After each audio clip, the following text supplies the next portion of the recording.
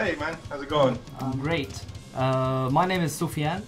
I'm uh, from uh, Dark Side Records, and I am very, very honored to talk to you personally, uh, one of my legends. Yeah, exactly. yeah, uh, we're gonna start this episode, the second episode of the Moroccan Close Encounters, known as the MCE project. And uh, I present to you Oumaima, who's That the host. be me. Host of this episode. I learned that. yeah, and uh, later you will be talking to Amine, uh, the Moroccan artist, and you would be the American one. yeah, and um, I'm in a hotel, so if the signal is weak or it drops, it's at the mercy of hotel Wi-Fi. It's no, not no, the it's. No, loud it's- and clear. it's loud and clear. So Okay, uh, I will go now and leave you uh, with Amine and uh, have fun. All right, thanks. Nice to meet you. Nice to meet you too. So hi again. Welcome to the Moroccan Close Encounters. It's a great pleasure to host you and to have you with us. Along my side is Amine, one of the finest bass players here we have in Morocco. He's like on the top five. Here he co- he came all the way from Marrakesh for this interview. So I'm intrigued personally to know about your personal experience with the COVID. I mean, my research told me that you caught the virus. Yeah, sorry. Go ahead. Yes. So after testing positive because of coronavirus, how did you manage to stay active? How did you manage to to to remain within music? I mean, did it like affect you personally? I contacted the virus along with a lot of guys that were on the same tour. You might have heard the big news: Testament, Exodus, Death Angel. There's quite a few of us. Um, I guess most of the main news that came out was about the band members, but we had a whole lot of crew members that got Wow. it too. You know, those kind of guys don't make the news, but Mhm. it, it kind of you know inflated the numbers of us that that got sick and. Um, just like you've seen over this past year, everyone gets affected in different, ways, ways. different level. Yeah, it's it's it's a huge variation. So Mhm. some of the guys were kind of surprised they tested positive because they didn't feel much, Yeah. and then there was um, there was like a middle group that was definitely sick hmm that made sense that they were positive. I was on probably the far end of the middle group because I got hit super hard. Wow. I was, yeah. We had one guy that was beyond the hard group. You might have heard of Will, the drummer from Death Angel. He went to the, yeah, he was in a coma for like 12 days, had Oh. heart trouble. He's doing good now, so it's That's good. Feels, That's good news to feels good to recount what happened to him, you know, because it has a good, um, well, not ending, but you know, he's doing fine now. That's good. Um, but but for me, man, I I just knew the it hit me like during the night, like kind of when I woke up, like Mhm. four or five in the morning. I just knew something was wrong. I mean, you really Sweating and everything. Yeah. you just feel like crap, man. Something has taken over me, man. I'm possessed with something, and Wow. Uh, at first i went to the local hospital they have you know just to go say like hey i feel sick maybe i should get a test and they denied me because i had walked out of my car up to the door they're like no you're not sick enough i'm like okay, so, okay, that's why. That's that's yeah and weird. so i just went and stayed in bed and then after another week of it not going away i went to this other clinic and they talked to me through the window of my car and they're like uh, well the tests are only for really sick people so we're not going to test you. So i another full week in bed i mean completely Torn. devastated. I was like i mean there's not a lot of sickness to say about it. I did have a cough but i've had worse coughs. It was a bad cough but not my worst cough ever but there's nearly not much else. Is like no upset stomach no head cold. It's just this massive drain of energy Yeah. just this complete exhaustion. Like the the fever just crushes you. And you i would i would get out of bed and walk real slow down the hall to get a glass of water. And by the time i got to my bed i was exhausted for the next two hours. Like it it took it out of me. So by the third week we had called like this telemed you know like they're starting to improve things. So they're like hey mm-hmm. let's just talk to people on the phone so we don't interact. And that doctor was like wait a minute three weeks? Okay i've already authorized a test for you. Drive to this location whatever. And they gave me a test. And sure enough like maybe two days later or something the result came in positive. And so then it hit me in not not that it was a surprise because You already clearly- knew. yeah, I knew it, but I didn't know it. So when the positive result came on, it's like, okay, what are we gonna do? And then because of the time, like three days later, my fever alleviated and I started getting up out of bed. And with a few more days, I was fine. So I only lived with the positive result for a few days, even though I had a Yeah. I had a steady, constant fever for 20 days 20 without days, break. Yeah. Yeah, Well, that's that's that's really good news to hear that you're doing fine.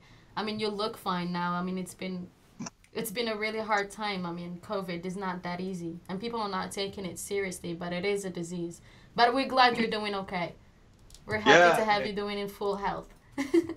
yeah. So obviously during that time, I had no energy to do anything, at all. Yeah.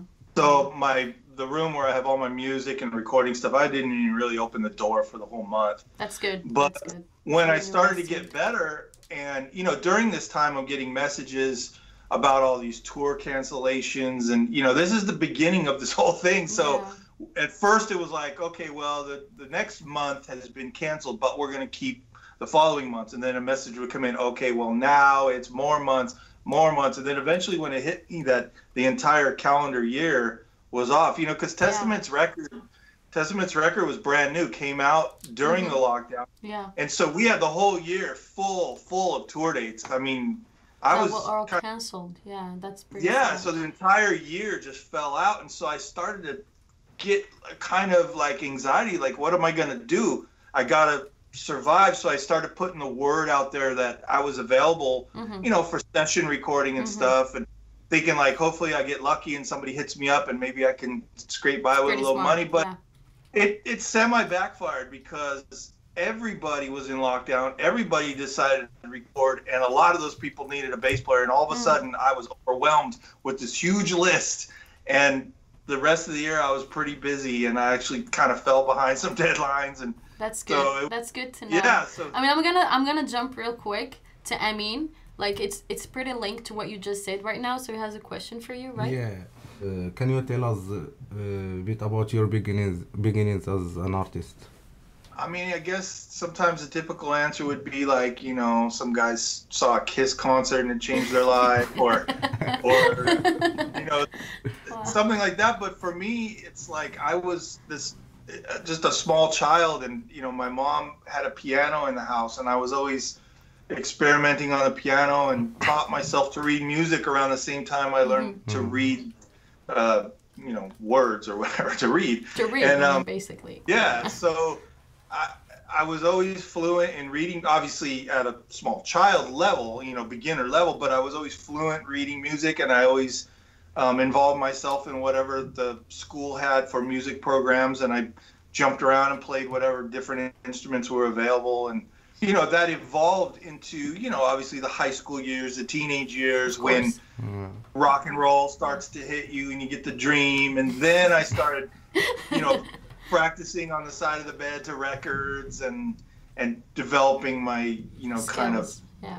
yeah well kind of my after school music you know i was Mm. fundamentally trained in orchestra and symphonic and jazz band and all that nerdy stuff but once i wanted to get into like picturing myself in a band on stage that was you know probably when i was around 14 or 15 and Pretty and fresh. then it right. yeah, then it probably became like most people. Like then I started doing that on my own, like just learning to play from albums, Iron Maiden and Black Sabbath and Jethro Tull and Rush, stuff like that. The bass players, you know, Blizzard of Ozz just came Mhm. out and Rainbow. Those albums had very prominent bass, Yeah. fun to play. Yeah. You know, Iron Maiden always a big challenge. That kind of stuff accelerated what I wanted to do on my own. And so by the time you know, it gave you an idea. teenager, It gave you an entire yeah, and, idea. and then then we hooked up with friends and made our own bands and started doing stuff on our own, more in a self-taught and you way. emerged like that, like Yeah. like a wallflower. Thirty-five years later, here I am. Here you are. so what what is what is the main reason that make you play the bass? well, kind of like how I just said, I, you know, many years developing as a child, went through different instruments. Yeah. It seems like I always gravitated towards the lower instruments. When the woodwind class was available, I played bass clarinet. And then when I moved over to brass, I played tuba, you know, really huge. Huge instrument. brass Yeah. instrument. And then in jazz band, I, I played the bass trombone. It's a little bigger than the Mhm. normal trombone line and stuff. So it was always kind of something I just, I don't know, instinctively gravitated to. It was, it was the part of the music that I liked. And when I watched you know music on TV or go to concerts, I seem to focus on Mhm. the bass player back there Mhm. having fun. So it just kind of instinctively appealed to me. So once Yeah. I got an electric bass, I knew that I was going to stay on that instrument and quit jumping around and changing and focus and get good at something. So, so you just made us like skip an, our next question. I mean, you just told us about the entire instruments that you had played for 35 years. I mean, we were intrigued about asking that question, but you answered it like pretty fluently, Ah, pretty fast. Yeah. So, in uh, what is the the main the main uh, influences? I mean, why did you include bass into heavy metal? yeah. Why and how? Well, Yeah, yeah, I got I guess, Exactly. yeah, I guess when in those in those kind of formative years I told you about learning from bass players like Geddy Lee, Chris Squire, you know, Geezer Butler, Steve Harris, that that appealed to me to to play heavy and you know the style of music when we made our own band was brand new, you know. They actually just you know, once you had heavy metal on MTV, everything that was less popular was just basically called speed metal.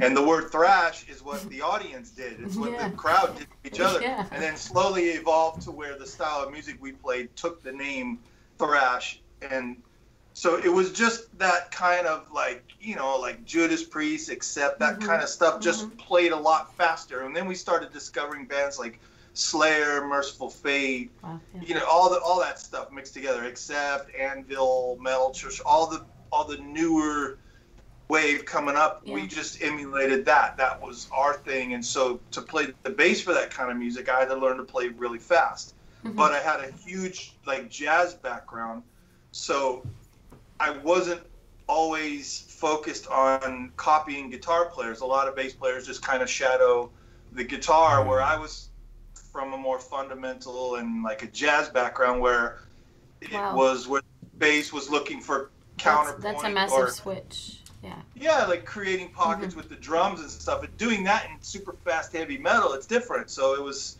it was all brand new to me i didn't have a lot of people to look up to in, in the hyper speed style stuff so i just found my own way and once i started bringing fretless into it it kind of made people like double take like what the heck is that but for me it was old school and and yeah so i guess a little footnote to the end of that is you know this a lot of musicians are infected with this competitive vibe you know where they want to say who's better or whatever i when yeah, i I was, was, about young, to ask this one. I mean, I was about to ask you, like, give me like first thing that comes into your mind, like four names that pops up into your your mind about like. well i can tell you that i realized at a young age that there really in music there is no such thing as the best That's- because that's- it's all subjective great It depends answer, what yeah. like and so it, i always found that no matter how much i improved i always saw someone playing better than me and i didn't let it bother me I, it gave me inspiration to jump up you know to, to realize there was another level to advance to so i decided it's worthless to try to be the best Mhm. but i knew that there's a possibility to be very different and maybe the most different. So Mhm. my quest wasn't always to be better, better. It was always to be just different, something unique, something that Mhm. gives that kind of like you said, like that signature sound. So Exactly. That's kind of how I developed my sound. I guess is just not playing like other people. wasn't trying to outdo them. I was Yeah. just trying to do it my own way. you Your know? own way. I mean, different is always a good idea. Yeah. So I guess you'll be hearing something different, right? I mean, okay, so he's gonna play something that I wish you recognized, okay? You will recognize, okay? So go ahead, Emil. Hallelujah. so No, what, I what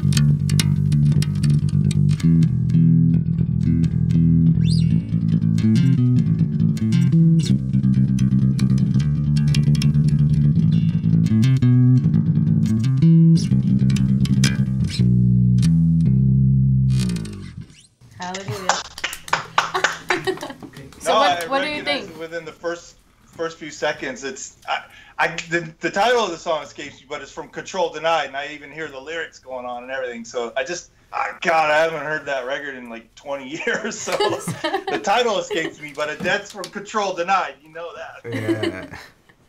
What What is the title? Tell me, so I don't look so stupid. Ah, tu lui dis euh, c'est quoi le titre de la chanson. Expect the, the unexpected. Exactly. Ah, right, right, right. Wow, cool. That's cool that you know, you know that, man. I, That's, ju- I just every- learned I just learned it yesterday. Yeah, he learned it yesterday and he added like some of his Yeah. own personal touch just because he knew he was coming to this interview. cool. Yeah. Well, that's that's a huge honor for me to hear something I recorded so 20 much. years ago, played by the top one of the top five bass players in Morocco. Thank Yeah. you very. Thank you so much. That means a lot. Everybody knows that uh, that uh, you ex play ex bass player for for the legendary band Death. So can you tell tell us uh, about your experience along alongside uh, with Chuck? well, how much time do you got? I don't know. You have like top chrono five, let's say four minutes. okay, I don't have the time. No, it's just because um, I have the unique experience of being alongside Chuck from the mutilation demo in 1988 all the way until the time he passed Mhm. when we were working on the second Control Denied demo. Obviously, I was in and out of the lineup, not completely steady. I mean, we were friends steady the whole time. Um, but, you know, the, the two albums most known for, obviously, Human and Individual Thought, Thought Patterns 91 and 93 Mhm. that's when I spent a huge amount of time with him because you know we wrote the songs, did the studio, and went on tour. we we actually we did spend a lot of time together in 1987, 88. Wow. Um, during the production phase of Scream Bloody Gore, we did you know we were like 17, 18, years- oh, about 18 years old, I guess. Um, Pretty young. yeah, and so we were just, you know, hanging out at night, hiding in a park somewhere, drinking beer, talking about, you know, brand new death metal stuff. And he was he was pretty normal, you know, teenager back then. He the only thing he was not normal in is how focused and driven he was. This guy had a mission to make this band his life, and it's cool because we got to see how it turned out, and he did it. He was right, but and then you know, like I said, that mid section of the career in the early 90s. I spent a lot of time seriously with him, got to be on the albums. Although I did return for the pre production of Symbolic in 94. Mhm. Um, didn't stay around for the studio, but in the exact same thing. I came back in 97 Mhm. and worked a lot on Perseverance songs, didn't stay for the studio. And then by 99, I came back for Control Denied. So in and out, In and a lot out. the Yeah. yeah, yeah, but but even so, I mean, we were pretty tight and we trusted each other musically. Um, so my story is pretty different from a lot of the ex members because some guys had a real short time with him, and some guys had a bad experience and split for whatever reason. But, But nobody, yeah, nobody really spans that whole period of time, you know. So Mhm. obviously, being super close friends with him, I can only recount, you know, really Exactly. good stuff. He was a personal friend of mine, so we had a lot, lot more in common than music. You know, we both loved going hiking and canoeing Mhm. and and just having barbecues outside. And when we spent little time inside, we were just really just like crazy nature children. You know, just just hanging out with animals and just doing what friends do, you know. But it was fortunate that he, you know, brought me into his world of music because Yeah. clearly that put me on the map. You know, yeah, if it did. you know, if I just continue with Sadus, who knows? We had a very small cult following, and who knows what it would have done for me. But death obviously exposed me to a huge world, and that's how a lot of the guys around the Testament camp found me, and and so on. You know, so death was a huge, huge, big, important first step of obviously my whole career. And So I guess why- you just ruined our next question again. which- God, I've been doing that a lot. You you've been doing that quite a up. lot, actually. it's pretty good. It's not something bad, huh? but uh, but the question was, if we gave you Death and Testament, which one comes first? Well, well, Testament was obviously multitudes bigger than Death. I mean, they were Mhm. played on the FM radio and MTV, and Mhm. Death was struggling underground Yeah. death metal band. So, as far as exposure and fame, I mean, Testament's a more important band, Mhm. but there would I don't like I just said. I don't think I would have got a chance to be in Testament so- if people didn't know me from Death. So which comes first? Death chronologically obviously came first. Chro- and yeah, I mean chronologically, let's say yes, death comes first. Well, yeah, yeah, yeah, but within you. and also the last activity of death was 1998 and that's Exactly. exactly, the summer that i first joined testament, Testament, so yeah. they didn't even overlap so i don't it's one continuous line for me and i don't know i mean it, i mean it's hard to say testament hugely important band so what would i do without that i would be nothing but death put me on the map for testament to find me it's impossible That's to say really which good one answer. Yeah, it so I'll just leave it one one continues. I love all my children. okay, you can ask him this one. Yeah. Yeah. So any upcoming projects? yeah, um, a lot of them Of actually. course. Just have, yeah, yeah, we're like breaking stars. She's only giving me four minutes per answer, and I'm taking twenty minutes. you can start with something exclusive that no one knows. Maybe. well, um, just this month, two albums, two separate albums came out. I worked with a band out of Denmark called Mother of All. hmm Um, that, that was just released, and they did some cool online promotion. It's a trio. hmm So it's kind of organic and you know, uh, very musical, very uh, eclectic kind of stuff. Mhm. Check out Mother of All. Yes, sir. And the same day, um, an album I had been working on for years, and even if my part was years, the band really started years before they recruited me. So it's like one of those really, really slow projects to develop, but it finally came out on Frontier Records. It's a band from Norway. It's called Terra Odium. It's like Terra a Odium. Latin. Mhm. Yeah, it's um, a couple of the guys from Spiral Architect. People know that kind of. It, they put out one album, very progressive technical stuff, but it's that one album. And the bass player Lars Norberg, like anybody who's got serious chops, lo, no, uh, knows Lars. yeah. yeah, I could.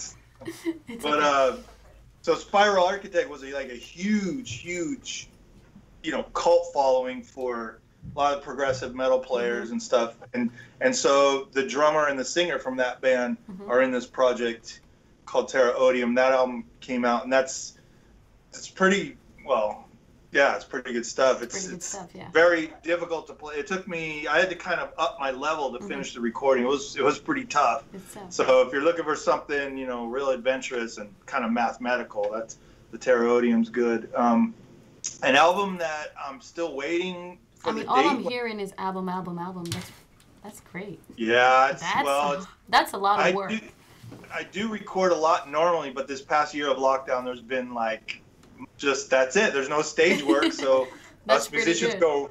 Yeah, we go right for the red light. You know, just Yeah. record, record, record. So Yeah. Th- Um, there's another band I finished up with late last year, and their album's in production. I don't Mhm. have a release date. It's got to be soon because it's been done for a while. But it's I mean, you sure you don't have a release date for us?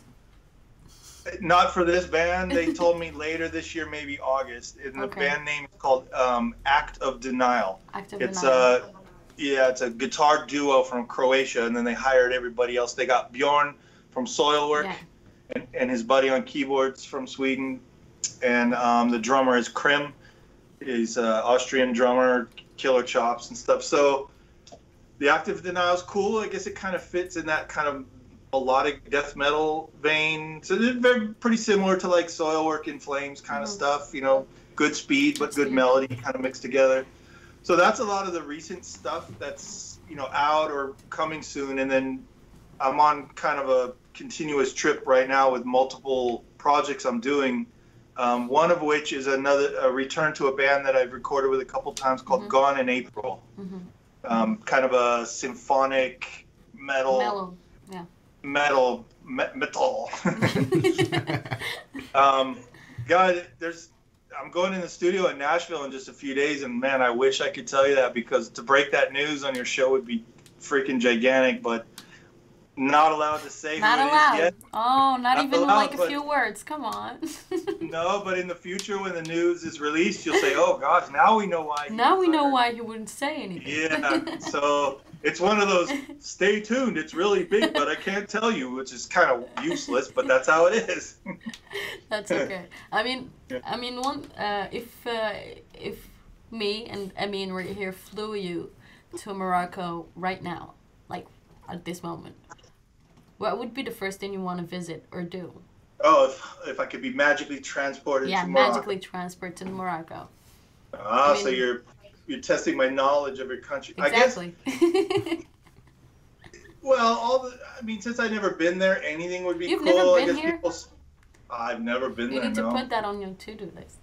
Yeah, You should. but I guess I guess a lot of people prefer touristy things, the big market, all that stuff. To me, I would want to go straight to the Atlas Mountains. Oh, I wanna- That's yeah, where I I'm wanna- from. I want to see, yeah, Yeah. the high Atlas, middle, high Atlas, middle Atlas, or anti-Atlas. Come on now, tell me. what? What did you say? The high Atlas, the middle Atlas, or the anti-Atlas? The High Atlas. Tell Yeah. Right now. Yeah, yeah, yeah. Cool. Yeah, I would love to see that. That's the that's the soul of the country. You It know, is. it's nature. It's been there before people. It's been there for before culture, and Yeah. that's the kind of stuff I like to absorb. You know, like what comes from the ground, and that Yeah. has a lot to do with the way people are, and you know, the whole climate and the fauna and everything. It's mm-hmm. that's what I prefer. I'm total, like I said, I'm total outdoors guy. I prefer the nature. I want to see the rivers running over the rocks. I want to see what kind of trees are there. You know, We have all of this. All Yeah. of this. Yeah. I love that stuff. You could submerge me in those mountains and leave me, you know, and I would just love every day of it. Just I mean, you're welcome to come. I mean, we'll show you around. I'll take you to my grandparents' house. It's there. yeah. Yeah. Is it a kind of a small village, It mountain is. roads? Yes. Ah, beautiful. I'd love to Yeah. see that. Uh, yeah. Yeah. So did you did you have did you have a chance to ch- to check some some Moroccan bands? I no, I really can't say I'm familiar with Moroccan bands. I can't think of any really. Um, I don't know how much like like new stuff, modern. No, I don't know. I don't Mhm. know any the the current metal or any. I don't know that. I admit it. Completely clueless. It's okay. Maybe maybe there's a band I heard from Morocco and just wasn't aware of them or can't think of them. But no, I can't. At the top of my head, I can't say. But um, I'm really really into a flamenco style from Spain. I know that's close to you, and I know that the Andalusian and Yeah. I guess they, they they were called like the Moors or the Moorish people. Yes. Tra- so I guess that kind of ties into music from your area, Yeah. but you know, it's kind of it's not so What about I guess. what about Atlas music? I mean, you said you're a big fan of the Atlas Mountains, but you've never checked Atlas music. if I can't even name one Moroccan band, I couldn't tell you the difference like, between. Go straight to YouTube and like Atlas Music Mountains Morocco. First thing that pops up. You'll I love could have it. done some. Uh, it, this might be funny to you. I know a Moroccan song called, and excuse me, obviously my pronunciation, Go don't ahead. know, but it is it called Galula Mama. Gulul Mama? Yeah, yeah. It- you know, so I I like that kind of music. It's it might be kind of funny and stuff, but you know, for someone so far away in a different part of the world, that sounds really cool. you. Yeah. Yeah, it's it, you know obviously not my favorite or main influence, but it's you it's heard it. Moroccan and topical, and and I say mama, galula mama. Mama. I So- love that stuff. our our last question for this Moroccan Close Encounters would be: Do you Mm. have like any advice to all of our artists here in Morocco? I mean, they would love to have a little message from you if you can share some advices or anything. I mean, anything you've experienced, any like. Uh, I don't know something funny that happened in your career, something that you like you fixed instantly that happened on stage, anything. I mean anything, anything at all. Yeah, the do I have advice questions always really hard and vague because it's you know as an older guy you like something to be pretty specific but I do like to say and and pass on to people especially younger people Yes. that have this motivation and and you know drive to do something I would encourage greatly to push your own ideas. Don't be afraid of something Mhm. different. And it seems like I depressingly so I almost want to say like the past 25 years seems to be a sort of stagnation. Mhm. It's almost really really accepted for everybody to be okay with I could do that too. Mhm. It's like, you know, they, they hear a band they like or a sound and then they Mhm. form their own band and they emulate it so Emulate much. yeah. It's into this copycat, like just the saturating the pool with a Mhm. lot of the same stuff. I'm not saying everybody does that, but there's a lot of it and it's it's just so accepted to like this. Hey, check out this new band. They sound like so and so and you put it on and it Something sounds exactly like heard. Yeah. yeah, and it's like, I mean, that might be fun for somebody to excel to a level Mhm. because of their recognizability, but it doesn't last long. You see it time and time again. A band will shoot to fame, but Mhm. then it dies out quick because the longevity is just not there. They lack originality. And Mhm. when I was younger, and I'm not even really like from the 60s where everything was so experimental and stuff, but I was, I did grow up in the 70s listening to those guys. You know, they were in their 30s and, and professionals, and I was young, grooming myself, and every band sounded completely is- different. Yeah. Yeah, and and every album of those bands came out, and it was a big change. Mhm. You know, these bands were really looking to progress and change their sound and everything, and that's something that I thought we were all supposed to do. You know, and then this big saturation and this kind of, you know, plague of just everybody doing the same thing over and over and over, it gets old. And so It my advice yeah. Encouragement is just you know man we we've had over two decades of the same kind of thing let's Yeah, let's do let's do something, something new. new. there's massive technology Yeah. out there we could you know if, if you want to go back to the roots and play acoustic or if you want to incorporate I mean, stay technology or- right? yeah just whatever let's See? get some atlas music and mix it with Some blast Atlas- beats yeah. Yeah, and mix it and I mean, give us something authentic. Yeah. just tr- just reach out try to be you know because imagine i was there in a birth of in, in just a random example not Yeah. even the main example Okay. but a, but a band like primus Yeah. you know all these thrash metal bands are, are fighting for space and everybody's trying to grow their fan base and then primus comes along and you're like what the hell is this? It was so completely different. And they were playing for 10 or 12 people at first. Yeah. and then it grew to 50 then 200 and then all of a sudden they're one of the biggest bands in the world. You hear their their song on the um the intro track to south park. I mean they're they're huge you know Yeah. because they took that unique quality and they pushed, Pushed it in people's face and people do want it they do want something new and different it's hard at first it's really hard and i think that's why it's worth it. people are worth content it. to yeah. repeat things is because it's comfortable and it's accepted and you go faster. But if you just endure, you know, people not knowing what to think at first, I think it's worth it in the long run and yeah. longevity will help. Yeah. And so, yeah, that's my advice, man. Let's let's try something different and Thank you so and- much. create something new. Thank you. Thank you so Thank you much. so thank you for your time and thank you for for saying all these beautiful words and everything. And thank you, thank you, thank you, thank you for this interview. I'd love to welcome back Soufiane. Thank you so much, Steve, and thank you so much for your time. Ah, thank you for joining us and. What a huge honor to watch you play the bass, man. That was you so that much. made my day. That was fun. really, really great, man. Awesome. Thank you so much. Thank you. I'd love to welcome Soufiane here. um, so how was the this uh, encounter, uh, if I shall say? Um, how was it? I mean, he's trying to Ah. test us. I mean, he wants to know how we did. Yeah, because uh, Ironically you speaking. you you Customer created survey. you created the baseline for the philosopher, and I created this project to talk to you about what you did. Exactly. And this is my baby. okay, good. Um, it's uh, it's went really great. You guys had really cool, interesting questions. Obviously, because I'm long-winded and I don't know when to shut up.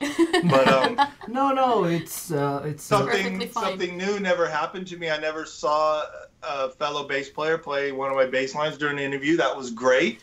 and that's and- how far your music uh, went into Exactly. the atlas.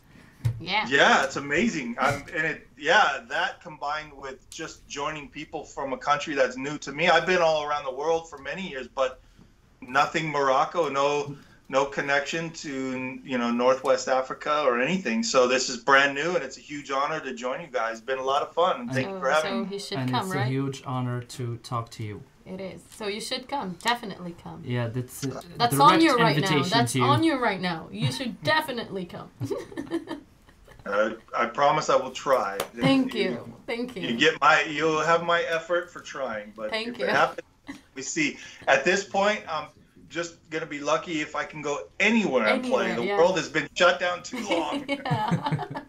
yes. All right, so uh, thank you very much for your time, and uh, I I guess This is uh, the end this of is the end, and I hope that it's not the last time that we will talk to you. host you. No, no, I'd love to talk to you guys anytime, and, and obviously if I do set foot in there, I'd love to have you all as guests, you know, and Yeah, we'll show you around. huge pleasure. Of course, we'll show show you around. eat, show me what to see, you know, and all that stuff would be awesome.